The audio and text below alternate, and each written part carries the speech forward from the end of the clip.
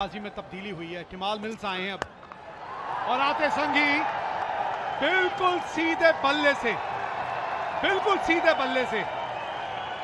इसी तरह का आक्रमण करना होगा इमाद वसीम को। स्ट्राइक रेट था, बहुत कम था। अच्छा इस्तेमाल किया पैरों का। गेंद अंदर भी आ रही थी, थोड़ा खतरा ज़रूर था।